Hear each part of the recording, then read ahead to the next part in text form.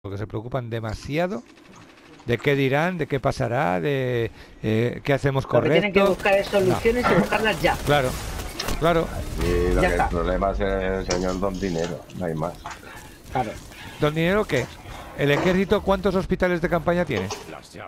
Todos los ejércitos del mundo. ¿Cuántos equipos montado, para, para lucha, un, para un lucha este aquí un hospital de campaña tela marinera de, en nada de tiempo. Aquí, Claro, claro que Madrid. nada de tiempo. Y te montan un puente en un día. Pero Y nada te- de tiempo, ¿eh? Claro, para eso está el ejército. montado. Sí, sí. O sea, eso es lo que yo no, no entiendo, que ningún país lo está haciendo. O sea, yo alucino. Estados Unidos ha tardado casi un creo que es mes por en la alarma sacar... social ¿eh? que conlleva eso. Joder, y no, No más, es otra no es más alarma social que se mueran mil personas al día. No Eh, el palabra, mientras lo puedan solucionar o paliar con, con lo que están haciendo de meterlos en estadios y demás, No que piensa que en el momento que se meta el ejército por algún sitio, la alarma social que genera, no ves que somos muy tontos, la, la gente somos muy Pero tontos. a eso me refiero, y si lo la masa, explicas. la masa se asusta. Pues yo no me asusto, yo de verdad, mira, yo estoy saliendo una vez, una vez a la semana a la compra y tengo posibilidades de no encontrar nada. si el ejército estuviera controlando el tema de las compras, nadie se llevaría. eh, eh, No, y de, y de la delincuencia, porque están robando a tus Exactamente. Yo me siento O sea- muy segura con las fuerzas de la policía a mi lado y con el ejército. Claro. Todo lo que se me pueda proteger, yo, mi opinión personal, ¿eh? Con eso no quiero Sí, decir. sí. Me encuentro mucho más segura cuando veo un coche de policía o cuando veo un militar porque sé que estoy protegida. Cuando no me es encuentro segura cuando no hay nadie por la calle y voy yo andando sola. Es distinto saber que, que el ejército está ahí porque ha habido un golpe de Estado o por lo que sea. Ah, Sí, sí, no, está ahí formas, sí. para proteger, está ahí para ayudarte a esto, ayudarte a lo otro. Exactamente. Coño, mira la, mira la UME. La UME está cada dos por tres en un desastre. Eh, no creo que haya alarma social porque se vean los coches de la UME ayudando. Eh, eh, no sé, Es que vamos a ver, si tú no tienes nada que esconder ni nada que hacer, ¿qué problema Claro. vas a tener? exactamente. Para defender. La, Y ayudar. alarma social no es porque escondas nada, Nani, una alarma No, no, social yo no lo digo por alarma social, sí, ya lo sé, lo sé. Si no es por eso, eso sí. No, pero yo no, entiendo que yo la no gente hablo ve a de la policía, ve que, la- ve, ve que la- los militares Claro, salen a la la calle se y se asusta, asusta porque son no- lerdos. Pero yo, cuidado, yo no hablo, yo no hablo de acabar con la democracia. Yo hablo de la gestión No, logística. no, no, no, la no, sí, gestión logística. entiendo, Dejársela al ejército y a las fuerzas del orden porque tienen mucha más habilidad. Y yo, yo Que eso un se lo entiendo. político- Eso es lo que quiere decir que la gente, como somos así, vemos a, la- a los militares en la calle y nos cagamos vivos. Y- y ya, fíjate, un desparrame. Fíjate, fíjate el desparrame que ha habido cu- cuando lo de la pandemia, que la gente se ha tirado a la calle a comprar comida como locos y ha sido horroroso el desborde que ha habido. Pero fue, fue- vamos, por Mira, el aquí- amor de Dios. Aquí, no, aquí mi, mi mujer, aquí mi mujer me ha enseñado antes unas fotos de, de basuras. Bolsas de basura llenas de comida pasada de fecha.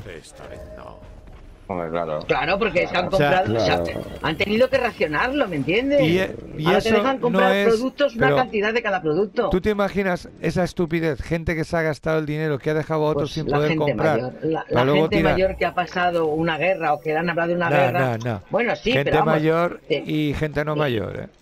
Sí, sí, pero vamos, que me Sí, refiero sí, que un porcentaje elevado son la gente mayor. Te lo digo por mi madre. Sí, mi porque madre ha parado miedo, aquí, tienen que si miedo. aceite, que si patata, que si leche, que me compró no sé qué, no sé cuánto, Bueno. que tengo aquí. Hmm.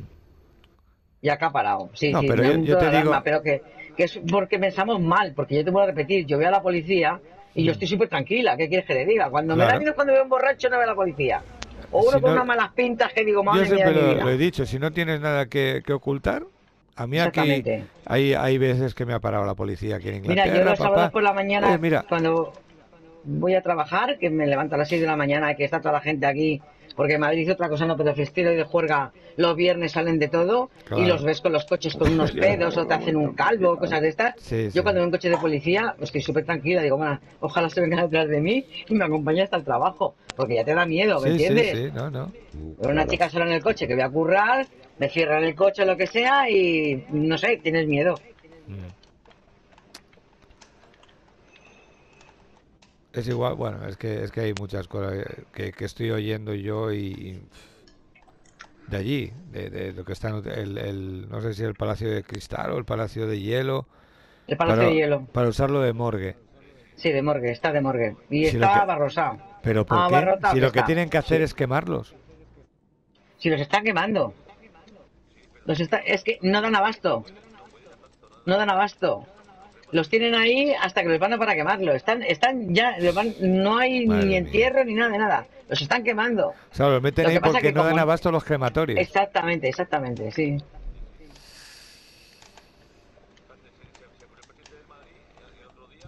Sí.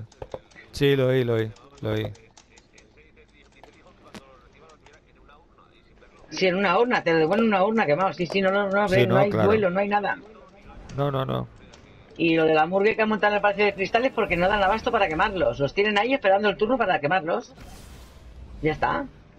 Los queman a todos. No ven los familiares ni cómo agonizan ni cómo mueren ni nada. Se los dan en un tarrito y ala, aquí está su padre. Pero es muy fuerte, es que es muy fuerte, por favor. Se te ponen los pelos como escarpias. pero es la realidad. Vamos, por favor, a veces con mi padre yo No, me muero. no. Encima, encima que lo pierdo, encima no le puedo ni despedirme de él. Que es que. Hablar con mi abuelo. Ayer, ayer murió un, un chiquito que era enfermero aquí y el día anterior había tenido su primer hijo. Imagínate. Dios mío, es que, es que. Y las cosas cuando superemos esto, porque lo superaremos, Ah, yo tengo esperanza que lo vamos a superar y sé que lo vamos a superar. Lo que pasa que no sé el tiempo que tardará. Empezarán a salir documentos y gente hablando que se nos va a poner los pelos para caernos de para atrás, ¿eh?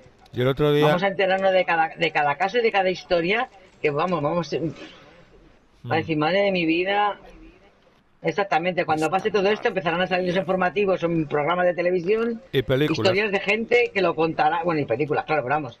Pero para mí me impacta más cuando lo cuenta esa persona que lo ha pasado, ¿me entiendes? Eh. Y le ves cómo está, dices tu madre mía, por Dios. Pero.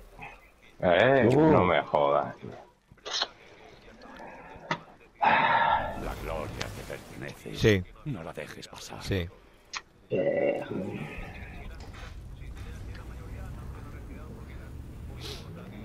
Has capturado la zona C. Enemigo Pues mira, yo te digo una cosa, a mí me da tanta pena como uno joven como uno mayor, ¿me entiendes? Ya no lo hacemos, ¿eh? Esto. Sí, lo que pasa es que Estamos uno con cinco todavía. eso ¿Lo se llama... o no? Lady, eso se llama triage. Eso se hace continuamente cuando eres médico, hay un accidente, por ejemplo, hay cuatro heridos. Tienes, tienes que ir, no, no al más joven, sino al que tenga más posibilidades de, de sobrevivir. Yo Es muy duro. entiendo, pero, Es muy duro, pero es así. Madre mía. Es así, Yo, porque como soy muy solidaria con los abuelitos, ya, porque ya. he tenido una que era maravillosa y se me murió hace dos años. Pero en este caso, imagínate que le das prioridad al viejecito. Una persona mayor merece un respeto terrible. Porque Pero se que lo ha aquí ganado, mm, pero es vamos. que eso es lo malo de la medicina. La medicina no es, eh, no es, no es cuestión de respeto, es cuestión de Sí, sí, todo eso lo puedo entender, pero a, ni- a nivel de corazón y de emoción y de sentimientos, eh, vamos, nuestros Claro. mayores son dignos es de, que- de- de- de admirar y de, de cuidar y de proteger. No lo Porque por discuto. esa puerta pasaremos todos. No, no, no, no, Todos. no lo discuto, cariño, y, y es la Y realidad. si no pasamos malamente. Eso es la realidad, pero imagínate, ¿Entiendes? Y te voy a tenemos que poner un pensar que ellos han pasado por nosotros muchísimo. pero mira, para escucha, cuidarnos y para todo. déjame ponerte un ejemplo, un ejemplo extremo. Claro. Vale. Sí, Pero sí, que imagínate, imagínate que tienes un chaval de 16 años y un hombre de 93. ¿A quién le das prioridad? Eh, Lord, lo entiendo. Vas a por el 16 porque le queda toda la vida. El otro ya, no, ya la ha vivido. No, pero, porque, mm, no por eso, no solo por eso, sino porque tiene más posibilidades de sobrevivir, por ser más sí, joven. es muy duro. Claro, digo claro, claro que es duro. ¿Tú te imaginas lo duro que es para un médico? ¿Tú te imaginas lo que es para esos médicos tener esas decisiones todos los días ahora? Imagino 14, que sí, que 15, será 20 muy duro, veces claro al día. muy duro. Pero, pero yo imagino el dolor de la familia. Claro, Porque como yo solo he vivido, es lo único que puedo entender. está claro. El dolor de la familia. El dolor del médico me lo puedo imaginar. Pero el dolor de la familia, eso sí, me lo imagino.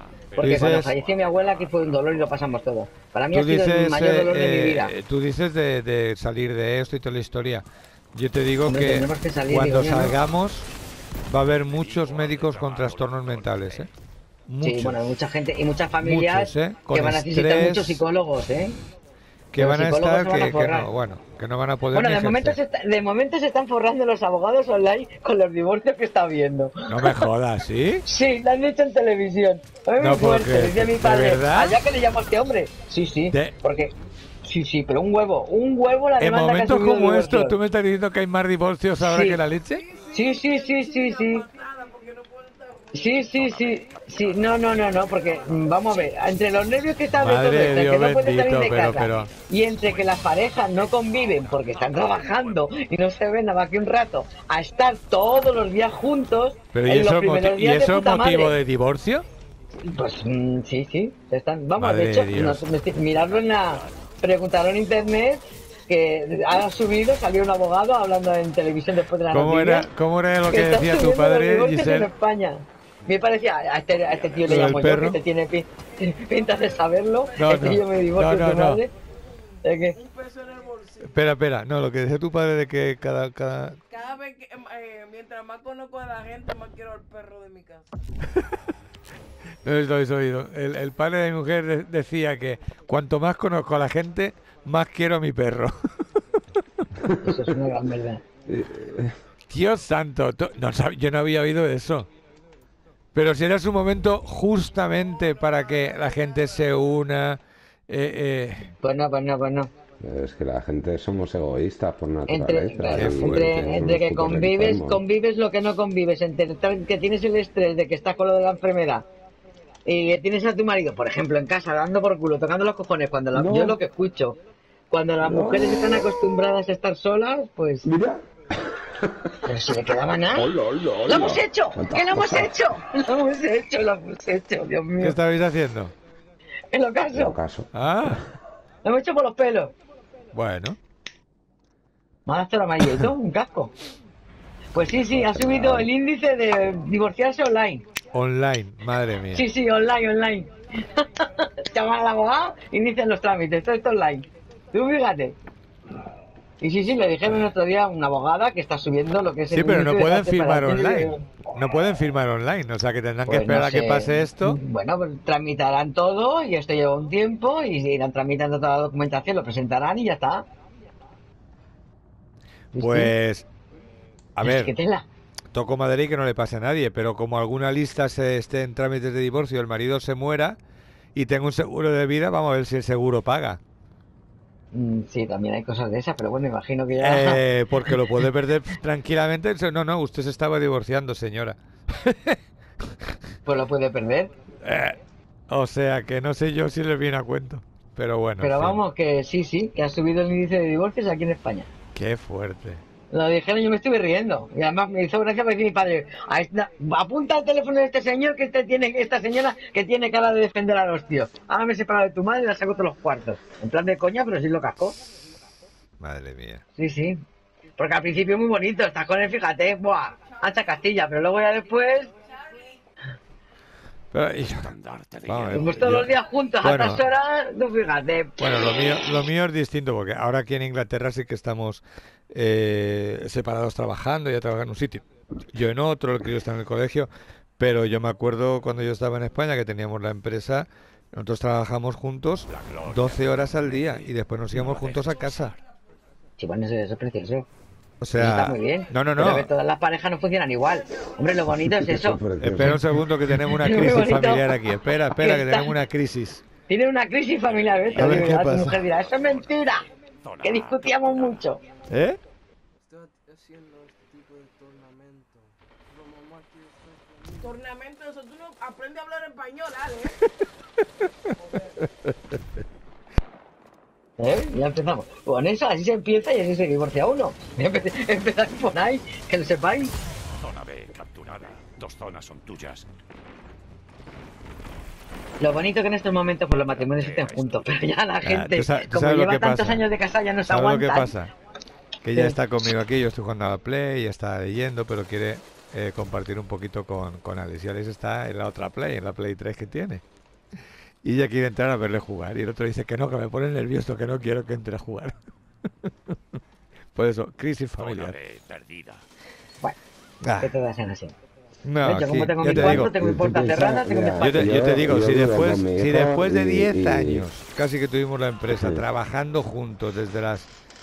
Bueno, es que nos levantábamos, desayunábamos, nos íbamos a trabajar, acabábamos de trabajar, nos íbamos a casa, cenábamos, a dormir, al día siguiente igual, así. Si ¿Y después de cuántos años eso- llevas casado, Lord? Pues casado llevamos ya eh, 15, 15 años y medio. Un prototipo del hombre que no existe. Con Juntos, tantos años juntos, trabajando juntos juntos, llevaremos casi tenías que ir a dis- 17. A discusión, a discusión por día. Ah, no, por- dos días. eh, eh, eh, perdón. Discutíamos y discutimos cada día. Zona B O sea, yo te Bueno, digo que pues tenemos una discusión. Una discusión. No, no hay reconciliación. Hemos discutido, se acabó. Ya está, pero es que es normal. Yo sí discuto algunas veces por reconciliarme, ¿me entiendes? Porque la reconciliación es, que Hombre, soy muy hombre, amorosa ya, hombre, y muy claro, cariñosa, también, ¿me entiendes? también. Nada más que por eso, por eso.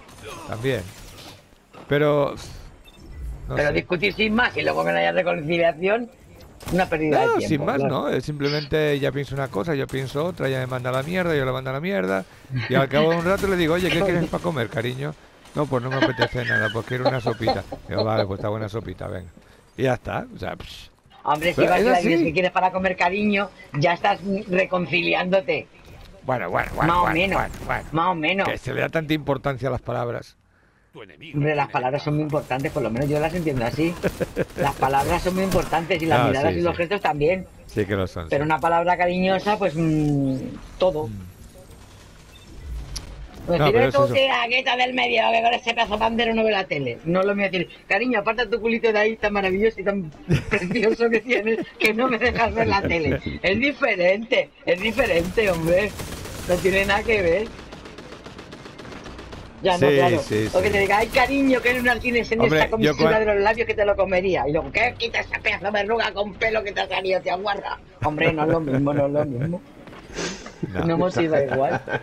Pues No no. motiva igual. No, pero yo- siempre lo he dicho que discutir es bueno, ¿eh? Sí, hombre, no. yo es- yo es algo que hasta- todos los días. Yo salgo hasta que hasta que he impuesto en mi, en mi equipo de trabajo, porque aquí son todos muy educados. Entonces Sí, sí, tiene que ser como en España, somos igual de educados. Aquí, Nosotros, leva- una levantas, una aquí y levantas un poquito el tono de voz Sí, y ya es que estás chillando, gritando y faltando respeto. joder, Y yo un día, no, no, yo un día me harté, yo un día me harté y le dije, mira, ¿sabes qué? perro. Lo que yo tengo es pasión. Porque soy español. Qué profundidad. Ay, Digo, sí mala. y lo Buah. siento, si levanto la voz porque quiero poner mi punto Somos de vista encima ahí de la sí. mesa, no estoy insultando a nadie. O me aceptáis así o me despedís. Y bueno, pues me Y estás aceptaron. en el paro, ¿no? No, me aceptaron, me aceptaron. Ah, vale. Y estás en el paro. Pero, pero cada, cada, cada dos por tres siempre me dice, Manuel, Manuel, please, please. Como que, que, que baje la vocecita. Digo, bueno, venga, vale. lucha. Al final ya se ha hecho mira una que te costumbre para mí. mal, ¿eh? Mira que te sienta mal que te manden bajar ahí la voz. No, es eso que tú estás discutiendo un tema y sin querer subes el tono, pero no es por gritar, es porque te emocionas. No, porque los españoles somos muy pasionales cuando hablamos. Aquí de eso no existe, aparte hija los tonos mía. de voz también. Aquí da igual que se esté muriendo uno a que le estén dando la lotería, tiene el mismo tono de voz. Da pena. Pues sí, es una pena, porque mm, no ver, sabes ¿qué- por dónde salir ni qué decir. ¿Qué hago yo matando con el automático si tengo que matar con la super, coño? ¿Ves? A otro que le pasa lo mismo que a mí, que no puede hablar ni jugar a la vez, porque se le va la pinza. El enemigo ha reclamado la zona C.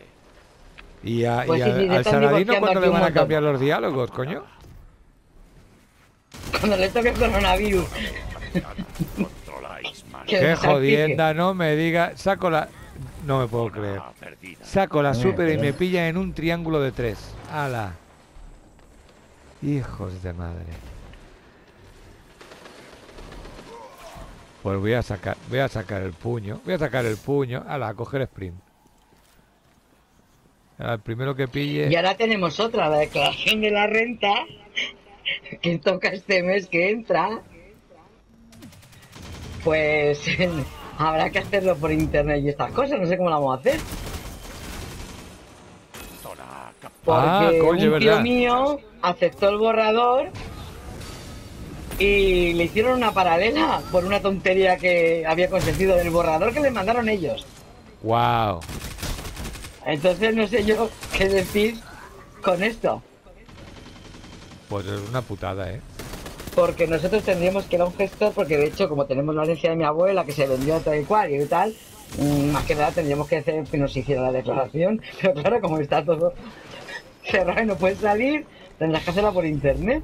Nosotros aquí no hacemos declaración. Nosotros aquí normalmente nos descuentan el, el tax de la, de la nómina y al Sí. final de año lo que hacen ellos es una negativa. Es decir, si te sale a devolver, te lo, te lo ingresan en la cuenta directamente. O sea, tú no tienes que hacer nada, lo hacen ellos directamente. ¿Y eso está mejor o no? Hombre, por lo pronto no tengo que estar perdiendo el tiempo a ver Sí. si me equivoco o no me equivoco. Simplemente eh, hay unas... Espérate, que voy a matar a este. No, a matar a mí. Eh, aquí hay unos credits que se llaman task credits, que es cuando tú ganas, hay un mínimo de, de, de- de salario anual, que si Sí. ganas menos de eso, ellos te pagan al mes una cantidad.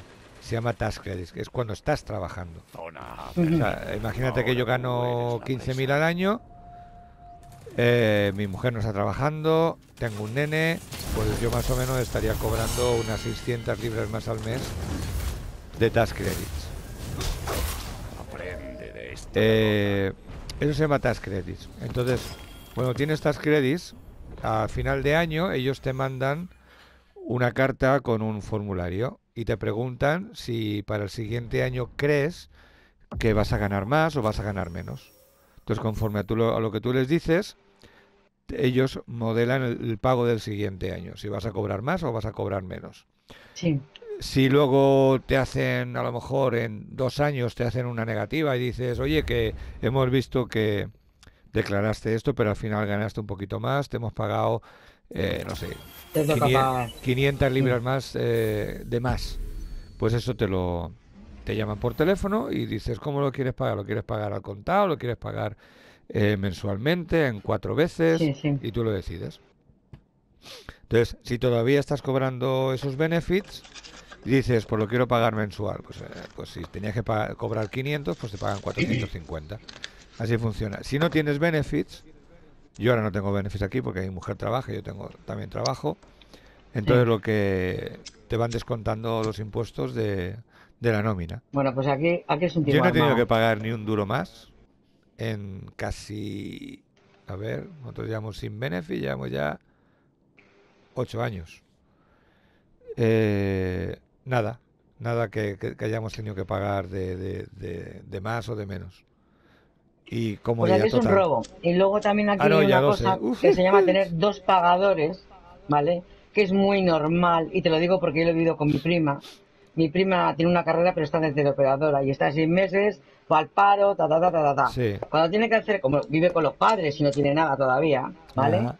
Pues cuando hace la declaración de la renta, como tiene dos pagadores, tiene que pagar. Y ha llegado a pagar 1.500 euros. ¿Cómo te lo cuento? Entonces sí, te dan facilidades para que lo pagues todos los meses. ¿Pero por qué tiene que pagar sí. 1.500 euros? Porque ha tenido dos pagadores. No, pero yo tengo dos. A ver, si yo tengo dos, dos empleadores, como he tenido. eh, mi mujer tuvo hace dos años dos trabajos distintos. Aquí lo que hacen es que. aquí no. Espera, en el primer Aquí trabajo. como Ha tenido tengas dos pagadores- fini- Es porque ha tenido dos finiquitos. No Exactamente. es porque tenga dos pagadores. Bueno, No, pues no, dos pero da igual. Da igual. Ha tenido da dos igual. trabajos, dos No, pagadores. no, pero perdona, da igual. Mi mujer tuvo dos trabajos en un momento dado. Del primer trabajo paga el tax normal y en el segundo trabajo paga un poquito más de tax. Cuando acaban los trabajos y tienen que darte un finiquito, te descuentan los tax del finiquito. Sí, bueno, es la no empresa la que está obligada a pagar los Sí. impuestos. Bueno, y pues tú aquí te no. vas con tu dinero y se acabó. Aquí directamente pides el borrador o vas a un gestor o vas a Hacienda a hacerlo y como has tenido dos pagadores, dos pagadores, aunque tú ganes 900 euros, que es lo que gana ella, ha tenido que pagar, pero no una vez, ya la pasó tres veces. Entonces Vale, mejor quedarte en el 1500 puto euros. paro. ¿Entiendes? Entonces, esto sí que es una cosa que yo no entiendo. Como tengas dos pagadores, no sé si este año lo habrán cambiado. Pero yo sé que mi primo la está pagando y más de una vez. Y El hablamos de impuesto de la 1.200 a renta- 1.500 euros, sí. sí. Pero a ver, Una barbaridad. Yo, yo cuando me fui, el impuesto de la renta estaba basado en lo que ganabas, no en, en, en Bueno, cuántos pero te eso ya ha pagaban. cambiado, eso Lord, ha cambiado ya muchísimo. De año en año te puede cambiar. El tema es que, no- que tendría que haber hecho la declaración y ya está. Y punto. Sí, claro, si tienes, dos, por si culo. tienes dos pa- no, si tienes dos pagadores, porque fue un gestor, si tienes dos pagadores, aunque no llegues al mínimo, estás obligada a declarar. ¿Por qué? Porque sí, porque tienes dos pagadores. Pero no igual, llegas al yo- mínimo. No, no llegas sí, al mínimo, sí. da igual. Mira, no Que sí, que sí, Eh, que eso tienes me- que hacerlo, que tienes que hacerlo. Que sí, que sí, que que sí. Que sí, que sí, que te digo que sí. Que te digo que sí. No Y sé. además te voy a decir más. Lo hizo, la segunda vez que lo hizo, lo hizo con el gestor de Noelia, de mi prima Noelia, que es el que le lleva la empresa a su marido. Mm. Al de allí, le lleva todos los papelitos el gestor, se lo hizo y tuvo que hacerlo. No tiene más cojones. Porque digo, a ver si hay un truco o alguna puerta trasera por donde pueda salir yo para no tener que pagarlo. Y aunque no llegues, tienes Pues que pagar. 1500 pagar 1.500 euros es que hay... Una barbaridad. pasta, 900 ¿eh? Sí, euros gana. Haga- 900 euros limpios al mes y los fines de semana que curras se más 50 euros por sábado o domingo. Pero a ver, Punto, 900, no hay más. 900 euros Al por mes, cada trabajo, por cada trabajo o en total. 900 euros con, si lo, es que lo que está ganando una teleoperadora o una No, teleoperadora. no, no, que- pero me refiero, teleoperadora, una mierda. 900 euros entre los Al dos mes. trabajos. No, no, no, no, 900 euros al mes. Ganaba. Me está preguntando Soltan que eso ganaría mucho. Digo, no. 900 pavos al mes. Que 900 entre los dos trabajos eh, o con Vale, un vale, trabajo. mira, mira, mira, qué fuerte, 900 qué fuerte. Esto es 900 para... cada trabajo. Mira, mira, mira. uno, se iba al paro y el paro te A un tío está le estamos pagando tres menos. y no se muere ese Pero, a ver. desgraciado. A ver, trozo. 900 euros trabajando de teleoperadora. Y en el paro prácticamente ganas eso. Porque te hacen una media con es un pagas. pagador solo, ¿no? No, es el paro, un pagador, y el, el, el tío que te da el trabajo es otro. El paro cuenta como otro pagador. El paro eso, cuenta, que sí, trozo que sí. ¿Cómo va a contar si el paro- ¿Cómo va a contar el paro no paro puede? ¿Cómo- cómo coño? Entonces tendríamos que pagar todo siempre. Pues es lo que están haciendo.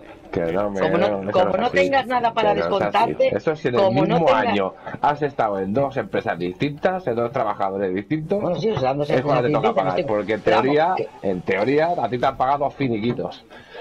Vale, pues será Y por dos empresas. Me estoy, me- me sí, estoy Sí, pero dependerá, dependerá Pero de ganan cuánto ha sido 900 pavos, finiquito, no porque si a mí me han pagado 100 libras, 100 euros Pues, de pues finiquito, lo que ha dicho el Sorsa, que si le han hecho pagar 1.500 pavos es porque ha cobrado pasta. No, no, no ha cobrado pasta. No ha cobrado pasta. Pues entonces que yo lo no proteste, ¿eh? Porque mi tía la tiene que dejar Yo- dinero. Que no, que no. Yo te- que sí, que puede ser, coño, claro que puede ser, pero yo te digo una cosa. este desgraciado Yo está llevo chazando. haciendo la, de, la declaración de renta toda la puta vida desde los 20 años y a mí me pagan siempre. Pero tú Sí. porque tienes para desgrabarte. Sí. Ella no tiene nada. ¿Sabes Ella vive qué? con los padres. Voy a reportar a un No hijo de tiene ningún gasto. a un hijo de madre. Ningún gasto tiene para descontarte. Hay un tío aquí que le estamos Te es disparando los seis a la vez y no le baja la barra. Ni un, ni un Eso milímetro, ¿eh? nosotros el otro día. Mira, Ni un eh, ¿quieres milímetro. flipar? Los ¿Quieres seis está tranquilo ahí matándonos a nosotros, Sí, ese desgraciado. Escucha, eh, me escribe mi colega Quique, Javi, sí. al respecto de la decisión que ha tomado el gobierno. ¿Te acuerdas que el otro día te comentaba que su mujer, que trabaja en una gestoría, estaba de curros eh, a full? Pues vale, eh, ahora coge y saca la bomba de que eh, el anuncio de cierre de servicios no esenciales incluye que tienen que cerrar las gestorías. ¿Quién coño va a tramitar ahora todos los seres? Sí, claro, eso no es esencial. Eh, claro, pues eso. Y ahora, después de esto, si no es esencial, el lunes, ¿quién va a tramitar los ERTES? ¿Quién va a hacer todo el Los lo- o sea, lo- qui- qui- este tío, esas decisiones son del mongolo, tío. El enemigo ha reclamado la zona. Como